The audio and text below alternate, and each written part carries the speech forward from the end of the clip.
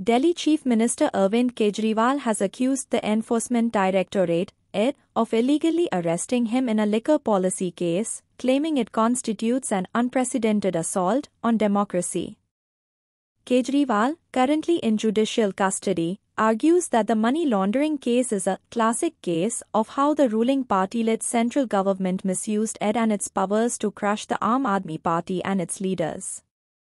He argues that the arrest, which took place five days after the general elections were notified and the model code of conduct was put in place, has caused grave prejudice to his political party and compromised a level playing field for free and fair elections. Kejriwal also argues that the arrest was made just before the Lok Sabha elections, highlighting the arbitrariness of the central probe agency. He also claims that the allegations against Magunta Srinivasulu Reddy and his son, Raghav Magunta, are vague and baseless without any tangible evidence.